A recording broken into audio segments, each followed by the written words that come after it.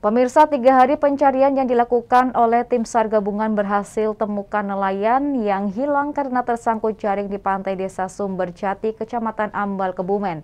Dalam kondisi sudah meninggal dunia, korban langsung dievakuasi ke rumah duka untuk segera dimakamkan.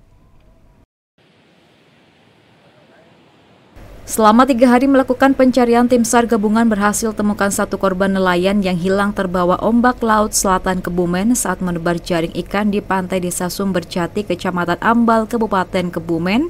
Pada Sabtu siang ditemukan di pantai desa Telogo Depok, Kecamatan Mirit, Kebumen pada Senin pagi. Korban yang ditemukan oleh tim SAR tersebut diketahui atas nama Sofian Sauri 50 tahun dalam kondisi sudah meninggal dunia. Setelah dapat dievakuasi, selanjutnya korban langsung dibawa ke rumah duka di Desa Sumberjati untuk segera dimakamkan. Menurut Amin selaku koordinator tim SAR gabungan mengatakan korban ditemukan sekitar pukul 5 lebih 45 waktu Indonesia Barat di radius 3 km ke arah timur dari lokasi kejadian.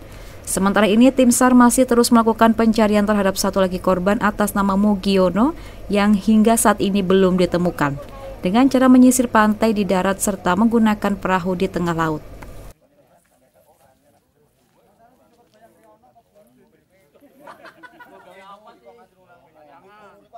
Alhamdulillah pada hari ketiga untuk pencarian operasi SAR laka laut di Kecamatan Ambal tadi pagi pada pukul 5.45 untuk tim SAR gabungan berhasil menemukan satu korban atas nama Sofian Sauri umur 50 tahun.